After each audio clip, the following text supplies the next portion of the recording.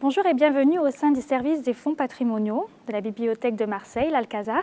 On se trouve dans la salle du patrimoine ici et aujourd'hui je souhaitais vous présenter cet ouvrage. C'est un incunable. Donc euh, un incunable c'est euh, les premiers livres imprimés après l'invention de l'imprimerie, donc Gutenberg. 1454-1455, jusqu'à environ une date arbitraire du 30 euh, décembre 1500. Donc toute cette période, entre l'invention de l'imprimerie et euh, cette date arbitraire du 30 décembre 1500, il y a une période euh, où les premiers livres imprimés s'appellent les incunables. Donc celui-ci est un incunable. La bibliothèque possède 144 incunables que l'on conserve dans nos magasins au sous-sol. Celui-ci est particulièrement euh, beau et intéressant par son euh, entreprise éditoriale qui est assez sublime. Ses gravures, je vais euh, vous montrer donc quelques pages afin que vous puissiez découvrir cet ouvrage. Et par sa popularité de l'époque, par son sujet, par sa, son audace. Donc cet incunable-là, euh, il s'appelle, il est assez courant.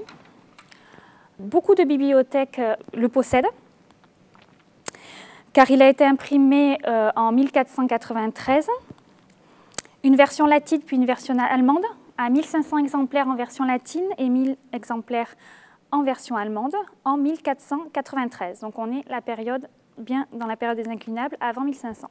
Donc pour le titre, on l'appelle communément euh, la chronique de Nuremberg, donc imprimée en 1493 par Armand Schredel, qui est un médecin humaniste, un grand bibliophile et un grand collectionneur de livres.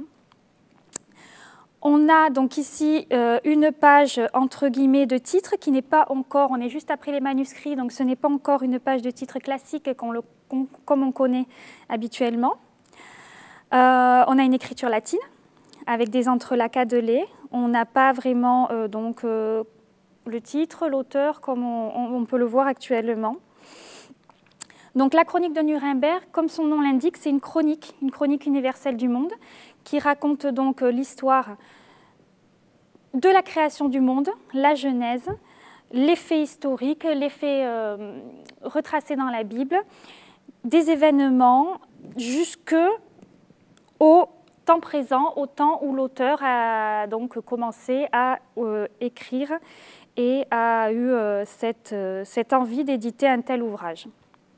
Un ouvrage comme ça va prendre environ trois ans et coûter plusieurs milliers de florins à l'époque. Je vais donc feuilleter avec vous ce magnifique best-seller de l'époque, la chronique de Nuremberg, avec ses 1809 gravures sur 645 plaques, donc beaucoup de répétitions, on va le voir au fil des pages. On commence, je vous ai dit que c'était une chronique du monde,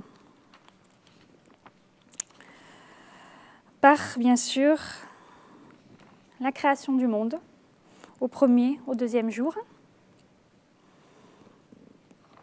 au troisième et au quatrième jour, au cinquième et au sixième jour.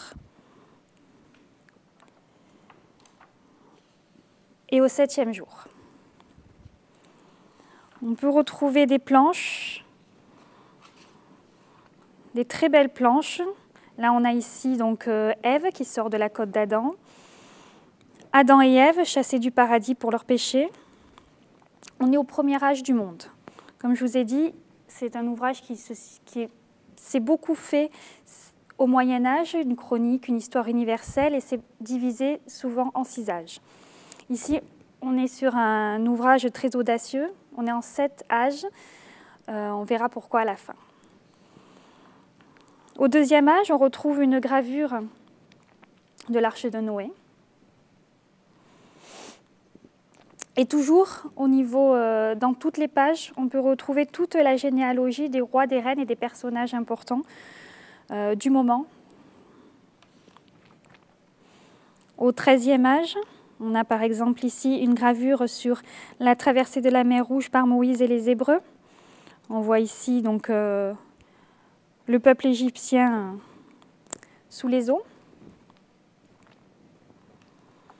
Au quatrième âge, une petite anecdote. On voit ici une gravure de ville. Il y a énormément de gravures de ville aussi euh, dans cet ouvrage. Et donc ici, on retrouve Marseille. Mais je vous fais découvrir une autre gravure ici, qui est Nice. Donc on s'aperçoit euh, que Nice, ici, et Marseille de ce côté, euh, sont représentés de la même manière. Pourquoi? Parce qu'il y a donc effectivement 1809 gravures dans l'ouvrage, mais 645 plaques de gravure, donc énormément de répétitions, surtout sur les villes, même s'il y a énormément de répétitions aussi sur les personnages euh, historiques, religieux et euh, de la royauté. Pourquoi? Parce qu'à l'époque, l'auteur et les illustrateurs de l'ouvrage se basaient certaines villes sont basées sur du réel, mais c'est aussi beaucoup de copies et de l'invention. Ensuite, ici, au cinquième âge par exemple, on a la représentation euh, de l'incendie de la bibliothèque d'Alexandrie, avec toujours au fil des pages ces représentations de personnages.